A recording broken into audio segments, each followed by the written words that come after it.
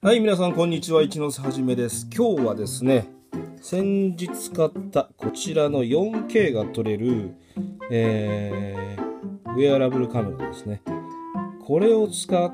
て、試しに風景のタイムラプスを撮影してみたいと思ってるんですが、今の設定がですね、わかりますかねこれ ?2.7K の 30fps になっ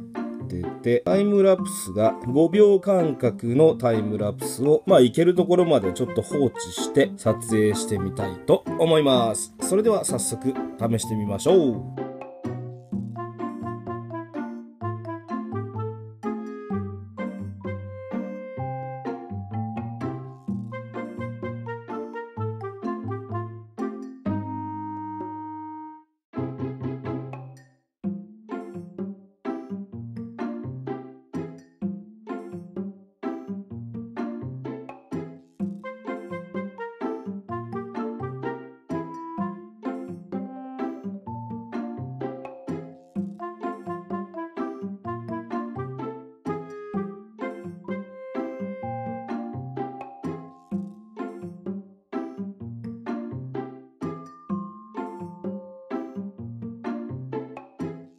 はい、えーいかがだったでしょうか？これで結構綺麗な感じで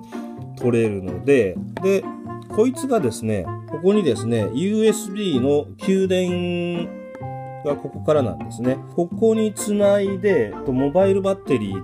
だったり、まあ、電源が近くにもしあるようであれば、そこから給電し続ければですね、その給電が可能な限りは、と、あとはこの SD カードですね。SD カードが今 64GB だったかな。そこまでは対応できるので、この容量どちらかがいっぱいになるまでは撮影できますね。なので、ちょっと、